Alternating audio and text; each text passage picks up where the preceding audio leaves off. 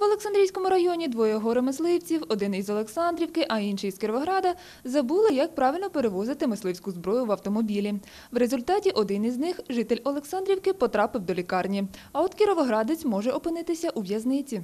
27 січня о 15 годині е, до чергової частини районного відділення поліції з Олександрійської ЦМЛ номер 1 надійшло повідомлення про те, що до них доставлено громадянина е, 1963 року народження з вогнепальним пораненням е, лівої стопи. Правоохоронці встановили, що чоловік, який потрапив до лікарні з пораненням, їхав у автомобілі зі своїм знайомим по трасі Київ-Луганський зварено.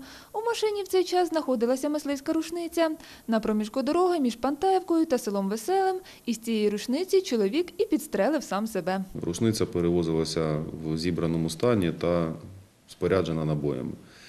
В результаті їхнього руху та невправних дій потерпілого е, ним було здійснено самовільний постріл, який влучив йому в лів- в ліву стопу.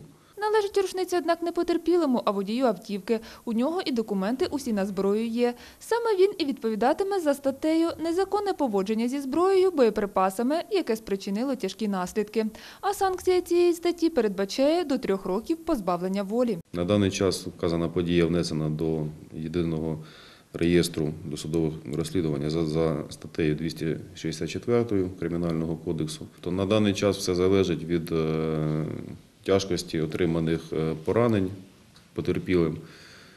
Якщо буде встановлено судово-медичною експертизою, що у нього тяжкі тілесні ушкодження, то власник зброї буде відповідати за вказаною статтею. Якщо ж будуть легкі або середньої тяжкості, то буде кримінальне провадження буде закрито і власника зброї буде притягнуто до адміністративної відповідальності.